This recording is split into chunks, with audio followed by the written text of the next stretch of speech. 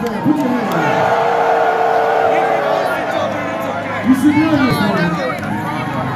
video's really dumb, but it's a cool song. It was retarded!